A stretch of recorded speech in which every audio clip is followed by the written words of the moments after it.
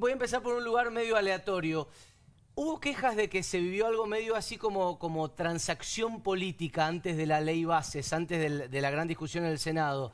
Gobernadores que por fin veían destrabada su obra pública, lo de la senadora Lucila Krexel, que nunca quedó claro por qué justo ahí se daba lo de su embajada frente a la ONU. ¿Hay algo de esto que supuestamente mi ley venía a destruir rondándonos nuevamente?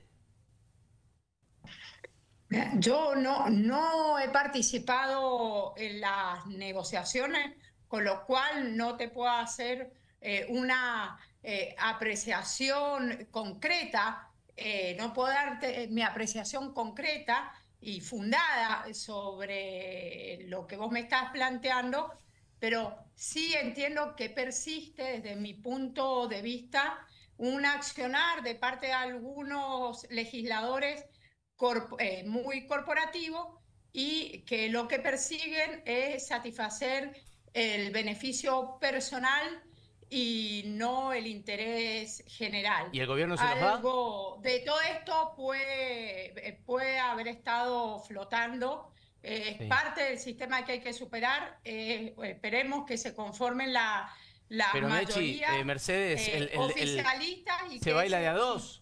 Si, si hay gente queriendo llevar agua para su molino, puede que alguien se la esté dando, no sé. Dio la sensación de que pasaba eso. Quizás es una coincidencia.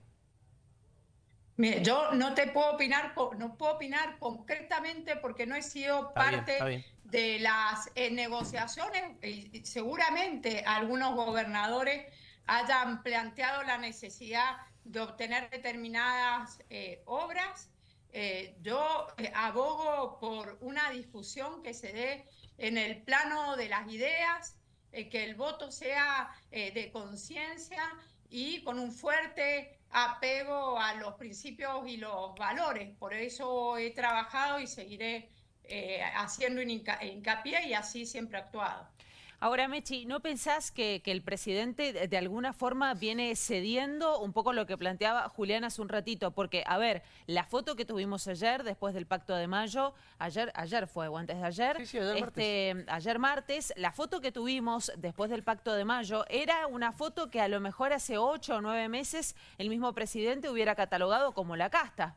Digo, gobernadores de las distintas provincias argentinas, pero que algunos de ellos hace mucho tiempo están gobernando en sus provincias.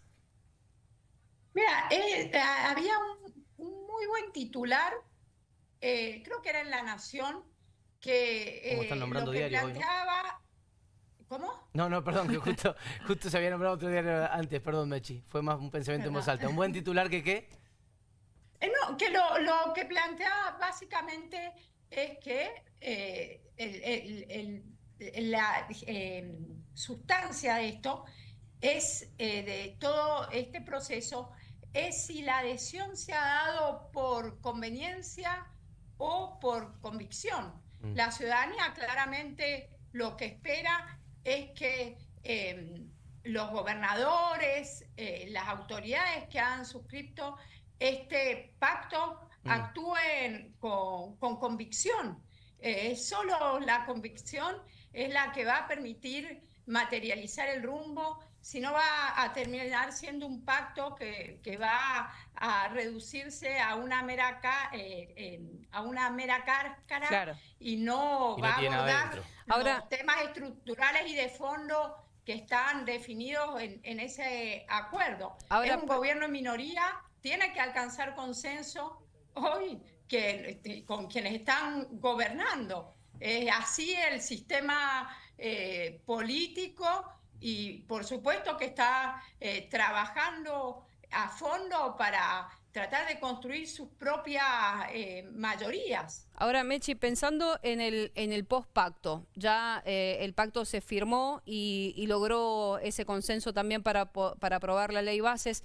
Eh, ¿Qué viene? Porque en el pacto se habla de una reforma laboral, se habla de una reforma previsional. Eh, ¿hay, ¿Se está cocinando eso en el seno de- del gobierno de Milei? Digo, ¿ustedes ya han tenido algún tipo de reunión como para ver cómo se sigue, cómo se sustenta en lo concreto ese pacto que es de alguna manera una cuestión simbólica.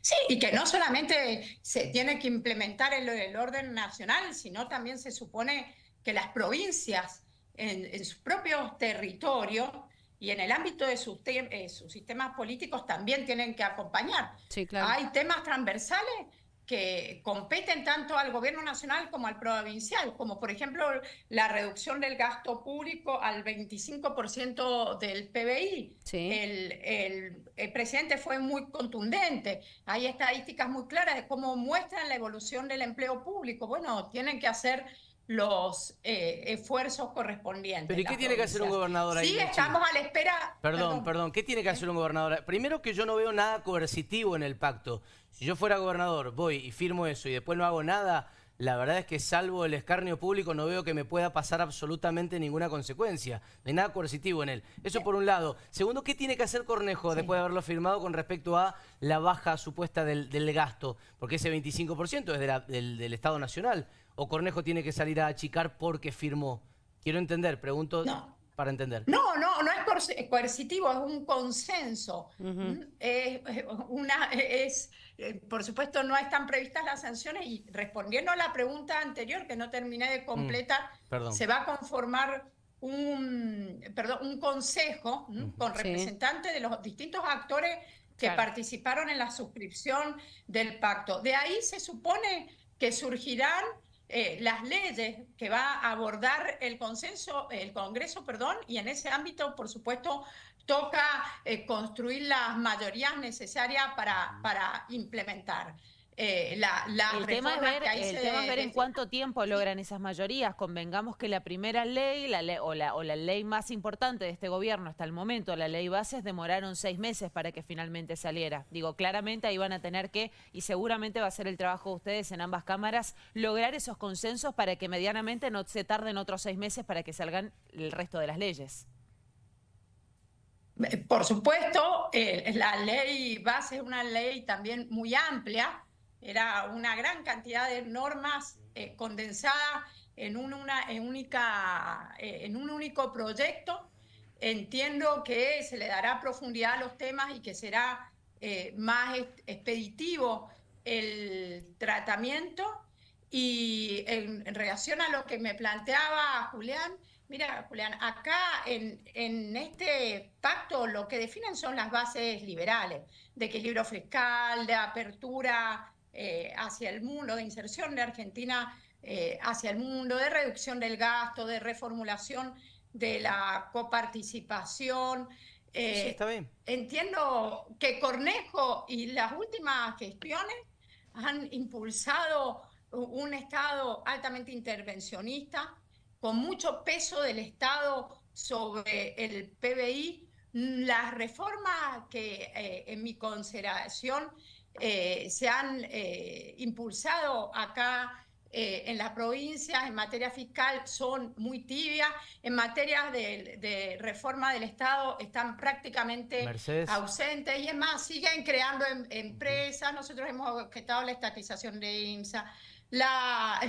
eh, Bueno, bueno, pero eso se va a vender. de de, de- acciones. de- de penitentes, digo, menor presencia del Estado, Pero, Pero ¿y de no dónde, de dónde mayor debería eh, correrse? transparencia. ¿Dónde debería correrse el Estado? ¿En, en, en qué, Menos impuestos. por ejemplo, en Mendoza me refiero? ¿En qué ámbito En debería correrse? Sí. primero eliminar las empresas, eliminar los fideicomisos que hay en la, en, en la provincia, que hay más de, más de 20.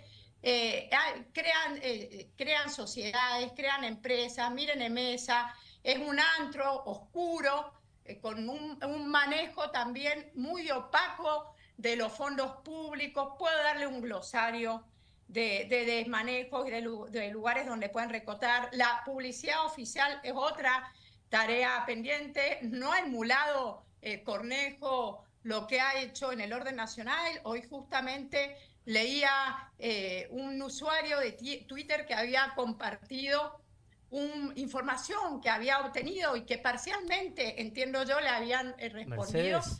sobre los proveedores de, de- de la publicidad. Y son desconocidos. A mí me sucedió como eh, legisladora, pero eh, digo, hay muchos lugares por donde eh, recortar Ahora, en la provincia de Mendoza. Más allá de, este punto. Y a las intendencias, perdón, también, por supuesto. bueno, más allá de este punto, justamente que, queríamos preguntarte que, cuál era tu mirada respecto a, este, a, esta aceleración por el ajuste de Cornejo, pero me voy a correr de esa pregunta porque hablaste del tema, quiero hacerte una muy chiquita. Eh, pensá periodísticamente y, y danos un dato que es el que estamos buscando si es que lo tenés. El Consejo de Mayo, vos recién lo nombraste, dijiste, va a haber representantes de todos los que suscribieron. ¿Cómo es el tema para las provincias? ¿Cómo es el tema para Mendoza? ¿Cuántos representantes va a tener Mendoza? ¿Suena algún nombre que vos creas que, va a estar? Quizás sos vos. No, no, por lo que entiendo son seis representantes. No está todavía no ha surgido la norma, no, no está determinado un representante por el Ejecutivo, un representante por el Legislativo, uno por los gobernadores, eh, uno por el sector sindical, otro por el sector empresarial y me está faltando otro representante. Esta es mi, en mi interpretación, si mi memoria no me falla, son esos los integrantes. Mechi, muchísimas gracias, te mandamos un abrazo grande. No, gracias a ustedes.